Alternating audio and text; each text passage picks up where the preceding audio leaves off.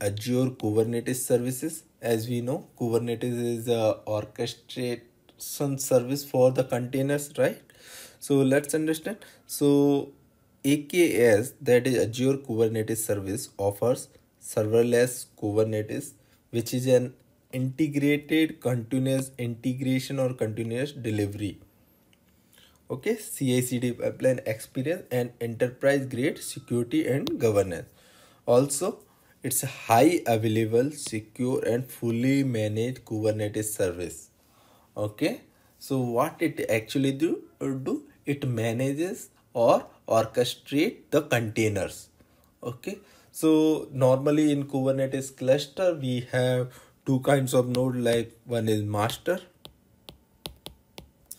then we have the worker node okay so master node is used for management purpose?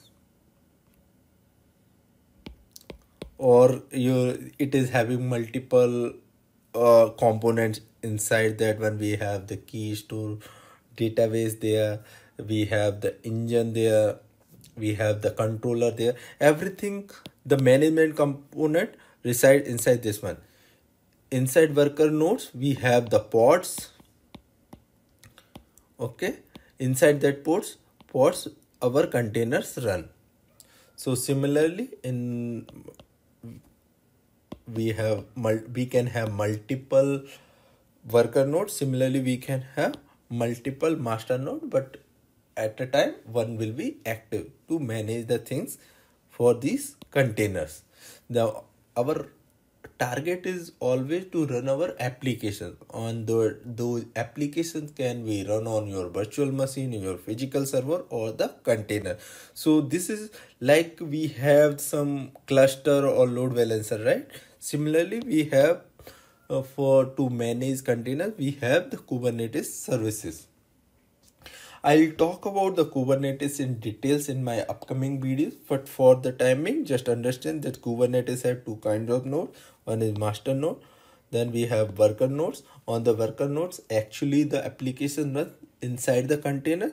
On the master node, only the management related uh, components work we can have the scenario where we have only one node. On that one we can have the master and worker node together. Everything can run on that one. But in ideal scenario or we can say the best practices we use different nodes for that one.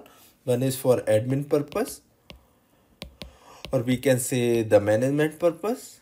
And this one is for executing or running our application run application okay so this is version uh, uh, this is about the azure kubernetes services